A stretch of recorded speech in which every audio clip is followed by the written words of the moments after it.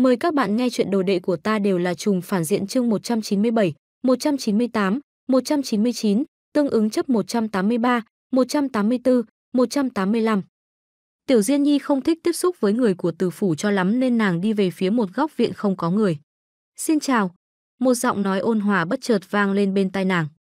Tiểu Diên Nhi giật mình, nàng ngẩng đầu nhìn quanh bốn phía. Ai đó? Ngay trước mặt nàng. Một thanh bảo kiếm khách có bóng lưng thẳng tắp cao ngất đang ôm trường kiếm, đứng đưa lưng về phía nàng. Tiểu Diên Nhi nghi hoặc nhìn người trước mắt, nhớ tới lời dặn dò của sư phụ, nàng không dám khinh thường, bèn nói, ngươi là ai thế? Thanh bảo kiếm khách chậm rãi xoay người lại, trên mặt hắn nở nụ cười ấm áp nhìn về phía Tiểu Diên Nhi. Hắn khẽ gật đầu nói, quả nhiên giống như ta nghĩ. Cái gì giống như ngươi nghĩ chứ? Không được nhìn nữa. Tiểu Diên Nhi vốn định nói thêm một câu nhìn nữa ta đâm mù mắt ngươi, nhưng sợ sư phụ lại tức giận nên nàng đành nhịn xuống. Ta cảnh cáo ngươi, không được phép đi theo ta. Tiểu Diên Nhi đi vòng qua thanh bảo kiếm khách, thuận đường đi về phía trước. Thanh bảo kiếm khách khoanh tay chậm rãi đi theo sau lưng nàng. Tiểu Diên Nhi nhướng mày, nàng dừng bước quay đầu lại nói, không được đi theo, còn đi nữa. Nàng nhấc chân lên dẫm mạnh xuống, ầm, mặt đất lõm vào. Nàng sử dụng lực lượng của thối thể ngũ trọng. Vốn cho rằng thanh bảo kiếm khách thấy vậy sẽ biết sợ, ai ngờ hắn lại rất nhẹ nhàng thoải mái, không để ý chút nào, cứ thế đi theo phía sau nhìn Tiểu Diên Nhi chằm chằm. Tiểu Diên Nhi chợt nghĩ đến một chuyện, gia hỏa này chắc không phải là mấy tên biến thái đó chứ. Nàng dừng bước, khẽ nghiêng đầu nhìn ra phía sau lưng. Ngươi thật sự muốn đi theo ta? Ừ. Tại sao? Nhìn muội, ta không thích. Chuyện đó không quan trọng. Sư phụ nói, không cho phép ta tùy tiện đánh người. Sư phụ nói đúng. Sư phụ cũng nói, đối phó với kẻ xấu không được nhân từ nương tay. Ách, ầm. Tiểu Diên Nhi chợt lao vọt về phía Thanh Bảo kiếm khách như một mũi tên. Tốc độ bộc phát của Thái Thanh Ngọc giản nguyên thần cảnh không thể coi thường. Đưa mắt nhìn toàn bộ An Dương thành cũng chẳng tìm được một cao thủ nguyên thần cảnh nào. Tiểu Diên Nhi vốn cho rằng Thanh Bảo kiếm khách sẽ bị dọa tè ra quần, thế nhưng trong mắt Thanh Bảo kiếm khách hiện lên một tia kinh ngạc rồi rất nhanh đã khôi phục lại bộ dáng vân đạm phong khinh. Hộ thể cương khí của hắn ngăn lại tất cả những đòn tấn công của Tiểu Diên Nhi. Ầm ầm ầm. Tiểu Diên Nhi phát huy thân pháp Thái Thanh Ngọc giản vô cùng tinh tế. Đây chơi đều là bóng dáng của nàng. Mỗi một quyền đánh vào cương khí hộ thể đều để lại dấu ấn hình vòng tròn nhỏ. Thanh Bảo kiếm khách chỉ đứng yên, mặt mỉm cười nhìn nàng. Cương khí hùng hậu không bắn ngược ra ngoài mà giống như nước mềm mại tản mát đi, không gây phản phệ lên Tiểu Diên Nhi. Tiểu Diên Nhi càng đánh càng tức giận. Bách kiếp động minh. Một tòa pháp thân tỏa ra kim quang cao bằng thân người nàng xuất hiện, mang theo hình hài lờ mờ của một cô gái linh lung tinh xảo. Thanh bào kiếm khách nhìn cảnh này, khẽ mỉm cười. Hắn giơ một tay về phía trước, vụt, cương khí biến mất. Nguyên khí đang rung động cũng biến mất. Trung quanh lại trở nên yên tĩnh. Bàn tay thanh bảo kiếm khách đặt trên trán Tiểu Diên Nhi. Hai tay Tiểu Diên Nhi không ngừng huy động múa may nhưng không thể với tới thanh bảo kiếm khách. Tức chết ta, buông tay, mau buông tay ra. Thật thú vị, thanh bảo kiếm khách nói. Được rồi, ngươi thắng. Tiểu Diên Nhi lại nổi lên tâm lý đề phòng, từ bỏ việc chống cự lui ra sau, lỡ như kẻ trước mắt nàng là người xấu thì. Nàng cảm giác được nam tử này có thực lực và tu vi phi thường mạnh mẽ. Thanh bào kiếm khách nở nụ cười thản nhiên. Xin chào. Hắn lại chào hỏi Tiểu Diên Nhi lần nữa. Không chào. Tiểu Diên Nhi đáp. Tiểu sư muội, muội cũng phải nói xin chào chứ. A, à, ta là nhị sư huynh của muội. Trong trí nhớ Tiểu Diên Nhi không có quá nhiều hình ảnh liên quan đến đại sư huynh và nhị sư huynh. Nghiêm túc mà nói thì nàng chưa từng chính thức gặp mặt hai người, càng đừng nói tới việc có thể nhận ra Ngu Thượng Nhung. Nhưng mà, bây giờ Tiểu Diên Nhi thật không tin được vị thanh bảo kiếm khách đang đứng trước mặt mình đây lại là nhị sư huynh Ngu Thượng Nhung của nàng. Vừa rồi hắn còn cười trông rất xấu xa mà. Nhị sư huynh. Thấy nàng có vẻ không tin, trường sinh kiếm sau lưng Ngu Thượng Nhung rút ra khỏi vỏ, lóe lên một cái đã xuất hiện trước mặt Tiểu Diên Nhi. Trên mặt hắn vẫn nở nụ cười, thanh kiếm đỏ lơ lửng trước mắt trông phiêu giật xuất trần không thể tả. Tiểu Diên Nhi kinh ngạc, vừa vui vẻ vừa nhíu mày, "A, nhị, nhị sư huynh, không đúng, là phản đồ." Ngu Thượng Nhung không thèm để ý, ý niệm khẽ động, Trường Sinh kiếm lại quay vào vỏ. "Tiểu sư muội, muội cũng cảm thấy ta là phản đồ sao?" Tiểu Diên Nhi nhìn bộ dạng phiêu giật xuất trần không tắt nụ cười của Ngu Thượng Nhung, nhận ra người này hoàn toàn khác với trong tưởng tượng của nàng. Nhị sư huynh khiến nàng có cảm giác dịu dàng ấm áp như vị ca ca nhà bên, trong lúc nhất thời nàng cũng không cảm thấy hắn là phản đồ. Thế là nàng lắc đầu nói, không biết. Ngu Thượng Nhung nói, không nói tới chuyện này nữa. Huynh đến An Dương Thành làm gì? Đến gặp muội. Hai người sóng vai trở về, tốc độ chậm rãi như đang tản bộ. Sao huynh biết ta ở đây? Lòng hiếu kỳ của Tiểu Diên Nhi nổi lên, không ngừng đặt câu hỏi. Thất sư đệ nói. Thất sư huynh cũng tới rồi. Không biết. Vậy đại sư huynh thì sao? Không biết. Nhị sư huynh, có thể cho ta xem kiếm của huynh một chút không? Đối với một kiếm khách mà nói, kiếm chính là sinh mệnh, là vật bất ly thân. Nhưng Ngu Thượng Nhung vẫn rất thản nhiên đáp, được. Hắn đưa trường sinh kiếm cho nàng. Tiểu Diên Nhi dè dặt cẩn thận tiếp nhận. Vừa cầm lấy trường sinh kiếm, trọng lượng cực lớn của nó khiến nàng khẽ khuỵu người xuống, cũng may tu vi nàng không thấp nên kịp thời điều chỉnh, không gặp phải khó khăn gì. Tiểu Diên Nhi cầm kiếm thưởng thức trong chốc lát, thậm chí nàng còn huy động kiếm vài lần, miệng tấm tắc lấy làm kỳ lạ. Sau đó nàng cung kính dâng trả cho Ngu Thượng Nhung bằng cả hai tay. Sao hả? Ngu Thượng Nhung hỏi. Không biết nói sao, ta cảm thấy kiếm rất tốt, nhưng lại không tiện tay. Tiểu Diên Nhi thành thật đáp. Ngu Thượng Nhung cất trường sinh kiếm rồi cười nói, tiểu sư muội không thích hợp dùng kiếm. Đúng vậy đó, ta có Phạm Thiên Lăng. Sư huynh, huynh muốn xem không? Không. Ngu Thượng Nhung dừng bước ngẩng đầu nhìn thiên không, thấy Từ phủ đã ở ngay trước mắt bèn nói, "Tiểu sư muội, nhị sư huynh có quà muốn tặng muội." Tiểu Diên Nhi hưng phấn vỗ tay, "Thật ạ." Tay phải Ngu Thượng Nhung nhấc lên, từ đằng xa bay tới một chiếc hộp gấm, rõ ràng đây là thứ hắn đã chuẩn bị kỹ càng từ trước. "Đây là gì vậy?" Tiểu Diên Nhi hiếu kỳ nói. "Chỉ mong tiểu sư muội thích." Ngu Thượng Nhung đưa hộp gấm cho nàng. Tiểu Diên Nhi mở ra xem, trong hộp gấm là một bộ quần áo màu xanh trông rất tinh xảo được gấp gọn gàng đang tản ra quang mang nhàn nhạt, nhạt. Khi nàng ngẩng đầu lên, Ngu Thượng Nhung đã ôm trường kiếm đi về phía ngược lại. "Nhị, nhị sư huynh, rất hân hạnh được gặp muội, ta còn có việc, tạm biệt." Ngu Thượng Nhung để lại một câu, càng đi càng xa. Tiểu Diên Nhi cất hộp gấm lại, nhìn về phía bóng lưng của Ngu Thượng Nhung, không ngờ lại rất hiểu chuyện gật đầu cảm tạ, tạ ơn nhị sư huynh đã tặng quà. Soạt, thân ảnh ngu thượng nhung biến mất không còn dấu vết. Trên con đường bỗng nhiên trống rỗng. Đại danh đỉnh đỉnh kiếm ma dường như chưa từng xuất hiện ở đây. Tiểu Diên Nhi ôm hộp gấm trong lòng, cảm thấy khó hiểu. Tiểu thư. Từ An chợt xuất hiện ở đằng xa hô lên, lão tiên sinh muốn gặp người. Đến ngay. Tiểu Diên Nhi quay về từ phủ. Vào trong gian phòng, ánh mắt Lục Châu lập tức rơi vào hộp gấm Tiểu Diên Nhi ôm trong người. Tiểu Diên Nhi vội vàng giải thích, sư phụ, không phải con cướp của người ta đâu, là nhị sư huynh cho con. Tiểu Diên Nhi cung kính dâng hộp gấm lên rồi mở nắp hộp ra. Sư phụ, đây thật sự là quà nhị sư huynh tặng con, một bộ y phục. Cướp của cũng đâu cần cướp quần áo chứ.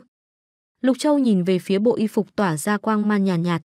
Trình lên, Tiểu Diên Nhi ngoan ngoãn đặt hộp gấm lên bàn, mở nắp ra. Từ Nguyên và Từ Trương Thị cũng đưa mắt nhìn bộ quần áo trong hộp gấm.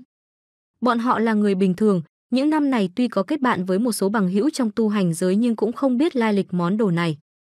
Lục Châu vừa nhìn đã nhận ra ngay, hắn bình tĩnh nói khẽ, Vân Thường Vũ Y.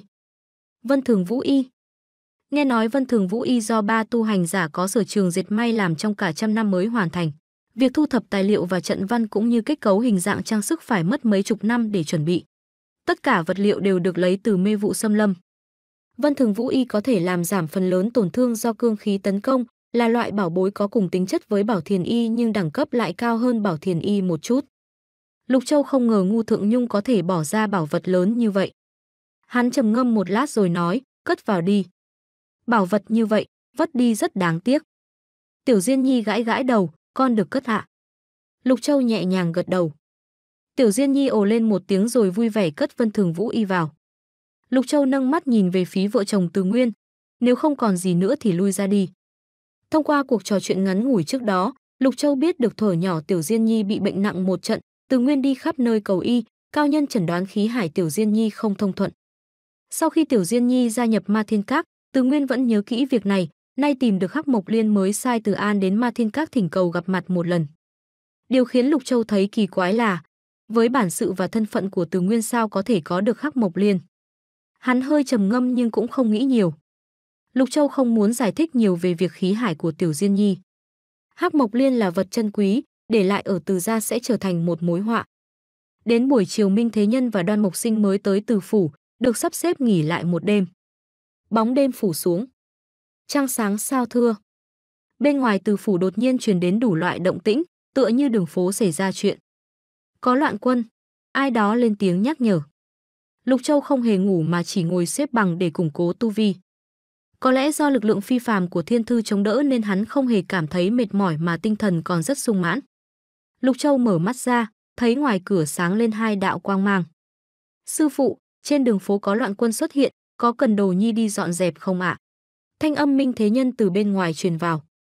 Ngoài khu vực từ phủ thì không cần để ý tới. Lục Châu nói. Đồ nhi minh bạch. Lục Châu tiếp tục nhắm mắt lại điều tức vận chuyển nguyên khí. Trên đường phố An Dương Thành xuất hiện tiếng vó ngựa. Bình định bọn phản loạn là nghĩa vụ của Ngụy Trác Ngôn, chẳng liên quan gì đến Ma Thiên Các. Ngay sau đó, trong An Dương Thành vang lên từng trận chém chém giết giết. Thỉnh thoảng có âm thanh phi hành trên không trung. Chốc lát sau, bốn bề lại trở nên yên tĩnh. Sáng hôm sau, Lục Châu chậm rãi mở mắt rồi khẽ lắc đầu. Thông qua việc tu hành công pháp, tu vi của hắn gia tăng vô cùng chậm. Nhưng ít còn hơn không, bây giờ vẫn tốt hơn nhiều so với lúc mới xuyên qua không thể tu luyện. Trong đầu Lục Châu có rất nhiều công pháp, kinh nghiệm và những điều tâm đắc trong việc tu hành đều vượt xa các tu hành giả khác. Nhưng mà, những thứ này lại không có mấy tác dụng đối với hắn, chỉ có thể dùng để dạy dỗ đám đồ đệ. Đúng lúc này, trên bầu trời phía bắc An Dương Thành, một chiếc phi liễn nhanh chóng bay tới, phi liễn to lớn đến mức khiến người ta phải lau mắt mà nhìn. Xung quanh phi liễn còn có mấy chục tu hành giả phi hành theo hình phương trận. Tuy dân chúng An Dương Thành đã nhìn thấy không ít phi liễn nhưng hùng vĩ đến mức này thì vẫn là lần đầu tiên. Chiếc phi liễn này có lai lịch lớn. Dân chúng dường như đã quên mất động tĩnh tối hôm qua, người nào người nấy đều ngẩng đầu nhìn về phía chân trời. Chiếc phi liễn vững vàng bay đến trên tường thành. Sau đó dừng lại. Cùng lúc đó, An Dương Thành xuất hiện khói báo động. Làn khói nồng đậm bốc lên đến tận trời xanh. Trên phi liễn, một lượng lớn tu hành giả che mặt nhảy xuống, nhào về phía đám binh sĩ An Dương Thành. Phản quân, phản quân, dân chúng lập tức bừng tỉnh rồi chạy trốn tứ tán, ai về nhà nấy. Trên đường to hẻm nhỏ của An Dương Thành chẳng mấy chốc đã không còn một bóng người, toàn bộ người dân đã trốn vào nhà. An Dương Thành loạn, chỉ là mục tiêu của những tu hành giả kia không phải là dân chúng An Dương Thành, mà là đám binh sĩ đứng trên tường thành. Tiếng chém giết vang lên liên tục. Đại môn Bắc Thành bị đám tu hành giả che mặt phá vỡ. Mấy ngàn tên kỵ binh nhanh chóng chen trúc phi vào. Minh Thế Nhân và Đoan Mục Sinh nhảy lên nóc nhà quan sát cảnh tượng từ xa. Cùng lúc đó ở phía Nam An Dương Thành có một lượng lớn binh lính và tu hành giả đang lao về phía những tu hành giả che mặt kia. Song phương lại kịch chiến. Minh Thế Nhân lắc đầu nói, loạn quân ở An Dương Thành. Chuyện này không nhỏ đâu. Mặc kệ sao. Quản bọn họ làm gì. Đây là việc của triều đình, có liên quan gì đến ma thiên các chúng ta đâu. Minh Thế Nhân tuân theo lời sư phụ dặn dò. Cứ xem náo nhiệt là được. Người nhà tư phủ và đám nha hoàn người hầu đều đóng chặt cửa ở trong nhà. Tình hình chiến đấu trên phố vô cùng khốc liệt. Minh Thế Nhân và Đoan Mộc Sinh ngồi hẳn xuống nóc nhà quan sát từ xa. Ngụy Trác Ngôn rốt cuộc là có làm được hay không đây? Phái đám lính tôm lính cua này ra để chịu chết sao? Minh Thế Nhân trêu chọc. Chỉ trong chốc lát lượng binh sĩ đã hao tổn một nửa. Từ trên phi liễn phóng xuống đều là tu hành giả, cho dù là ngưng thức cảnh và phản hải cảnh cũng dư sức đối phó với đám binh lính thông thường, chẳng khác gì giết gà dùng dao mổ trâu. Đồ giả thì cũng chỉ là đồ giả thôi. Nếu ngay cả loạn An Dương Thành mà hắn cũng không bình định được thì vị trí này của hắn sợ là không giữ nổi. Minh Thế Nhân nói. Đúng lúc này, Minh Thế Nhân nhìn thấy phía bắc xuất hiện hai tòa pháp thân thập phương càn khôn. Ồ, xuất thủ rồi kìa. Pháp thân thập phương càn khôn chứng tỏ người này có tu vi ít nhất là thần đình cảnh trung kỳ. Có đến hai người như vậy, hẳn đã đủ để chấn nhiếp đám tu hành giả che mặt này. Quả nhiên, đám tu hành giả che mặt liên tục lùi lại. Phạn hải cảnh và ngưng thức cảnh hoàn toàn chẳng là gì ở trước mặt thần đình cảnh. Nhưng số lượng tu hành giả che mặt lại rất nhiều, lại thêm việc bọn họ đã mở cửa thành cho các kỵ binh vào trong, nên thế lực hai bên vẫn ngang nhau.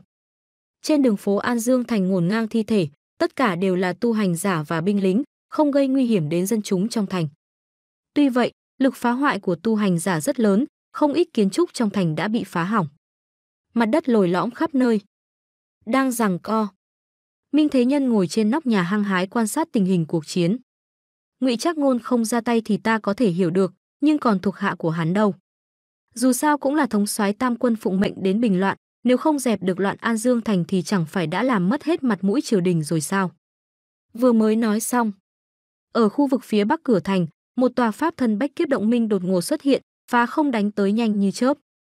Cao thủ, Minh Thế Nhân nhướng mày. Hai người gần như cùng lúc lui về phía sau, tụ lại ở một góc trên nóc nhà. Bách kiếp động minh lục diệp. Cao thủ sở dĩ được gọi là cao thủ vì pháp thân bách kiếp động minh cao 7 trượng, khi phi hành lướt ngang lại không hề gây tổn hại đến phòng ốc hai bên. Bên dưới pháp thân bách kiếp động minh, một vị nữ tử mặc cẩm y gương mặt thanh tú đang đánh thẳng về phía tu hành giả che mặt. Pháp thân đi đến đâu, đám tu hành giả che mặt bị đánh bay đến đó. Chỉ trong phút chốc, mấy trăm người đồng thời ngửa mặt lên trời phun máu. Tranh cảnh vô cùng hùng vĩ. Minh Thế Nhân trợn tròn mắt nhìn, pháp thân còn có thể dùng như vậy. Đoan Mộc Sinh cũng chưa từng thấy qua cảnh này, hẳn là người của Ngụy Trác Ngôn rồi. Kỳ quái, hôm đó sư phụ đứng trên phi liễn dễ dàng lấy mạng chó Ngụy Trác Ngôn, chẳng lẽ nàng ta không có mặt? Một chiêu đã xong. Các tu hành giả che mặt đều rơi xuống đất ầm ầm, khiến nóc nhà bị vỡ nát, làm hỏng không ít kiến trúc quanh đó. Một số dân chúng bị hỏng nóc nhà vội vã vọt ra ngoài, chạy tán loạn trên đường. Những kẻ tấn công cũng rất có nguyên tắc, không hề truy đuổi phổ thông bách tính. Loạn quân tụ họp thành một phương, ánh mắt nhìn chằm chằm nữ tử. Pháp thân bách kiếp động minh biến mất. Nữ tử mặc cẩm y màu xanh chậm rãi hạ xuống. Mắt nàng nhìn thẳng phía trước, vẻ mặt bình tĩnh nói, người đầu hàng sẽ không giết. Kẻ tiếp tục làm loạn, giết chết bất luận tội. Thanh âm cẩm y nữ tử rất nhẹ và nhạt, trong nhu hòa lại tràn ngập lực lượng. Minh Thế Nhân và Đoan Mộc Sinh không ngờ bên cạnh Ngụy Trác Ngôn lại có một nữ tử mạnh kinh người đến vậy. Làm sao bây giờ? Đoan Mộc Sinh gãi đầu, vừa thấy người ta đánh nhau hắn đã muốn xông lên đánh cùng. Đừng vọng động, chuyện này không liên quan đến chúng ta. Sư phụ lão nhân ra người tu vi cao thâm, động tĩnh lớn như vậy người đã sớm biết. Nếu sư phụ muốn nhúng tay thì đã không đợi đến bây giờ. Sư đệ nói có lý. Trên đường phố lúc này đã hỗn loạn không chịu nổi, mùi máu tươi tràn ngập. Một số thi thể đã có ruồi bay vo ve xung quanh.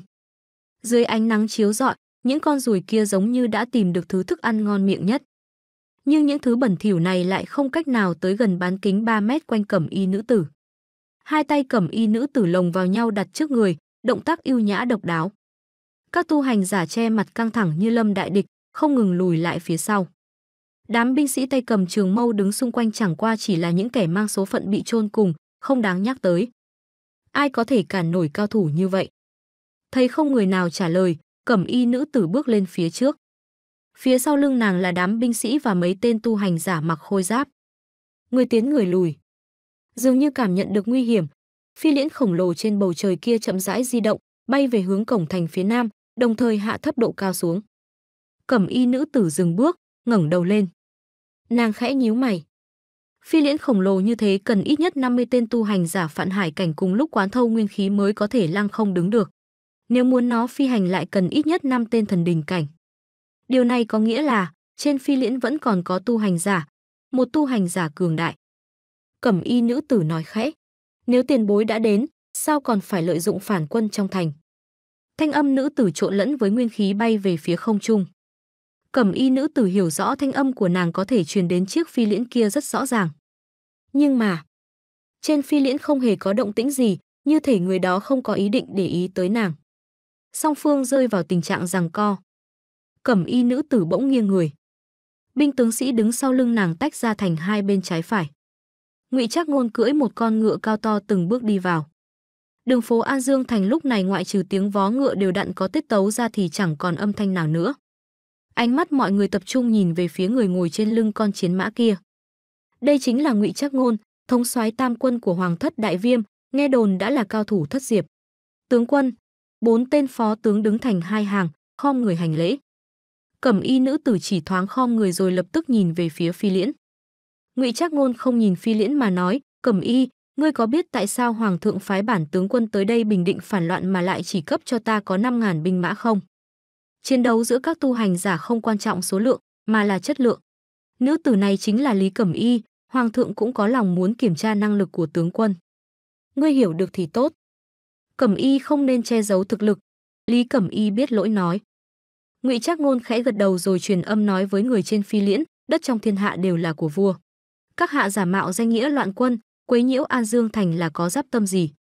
Chiếc phi liễn to lớn kia vẫn lơ lửng ở đó như trước không hề động đậy. Từng đạo nguyên khí hùng hồn như thủy triều lãng đãng vờn quanh. Khí tức không hề thua kém cường giả Lý Cẩm Y.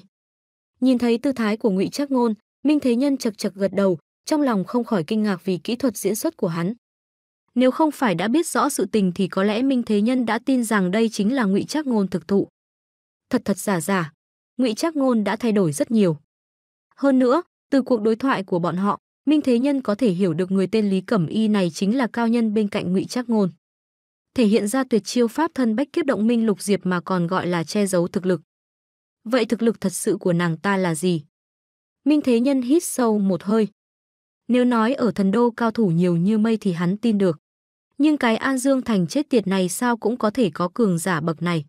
Trong lòng đất chỗ nào cũng có cất giấu bảo bối sao, trong không khí đều có vị ngọt sao. Không ngọt nha, lại còn có mùi thối. Tam sư huynh, huynh đứng cách ta xa một chút. Minh Thế Nhân có hơi nóng này. Ai đó? Đôi mắt Lý Cẩm Y sáng như điện nhìn về phía nóc nhà. Hỏng bét, quên mất phải truyền âm. Mở miệng nói chuyện bình thường đương nhiên sẽ bị cao thủ bậc này phát giác. Trên một nóc nhà cách đó hơn 10 trượng, Minh Thế Nhân xấu hổ đứng dậy xua tay liên tục. Các ngươi tiếp tục, các ngươi cứ việc tiếp tục nha, ta chỉ là một người dân thường thôi. Tiếp tục đi. Minh Thế Nhân thành công thu hút toàn bộ ánh mắt của tất cả mọi người. Minh Thế Nhân và Đoan Mộc Sinh đứng trên nóc nhà, quay lưng về phía mặt trời nên mọi người không thể nhìn rõ tướng mạo của bọn hắn. Lý Cẩm Y nói khẽ, người không có phận sự mau né tránh. Ta lui, ta lui đây. Minh Thế Nhân và Đoan Mộc Sinh nhảy về phía nóc nhà cách đó hai căn. Khi hai người vừa đến An Dương Thành đã ẩn tàng khí tức, hiện tại nhìn thoáng qua trông chẳng khác gì hai tên gà mờ vừa mới bước vào con đường tu hành. Song phương lại tiếp tục giằng co. Trên bầu trời, chiếc phi liễn khổng lồ kia tỏa ra gợn sóng rung động. Một thanh âm truyền tới. Ngụy Trác Ngôn phải chết. Thanh âm cuồn cuộn như thủy triều. Cuồng vọng, Ngụy Trác Ngôn lạnh lùng nói, giết. Bốn tên phó tướng vung tay lên. Mấy chục tên tu hành giả đứng phía sau lập tức nhào về phía phản quân.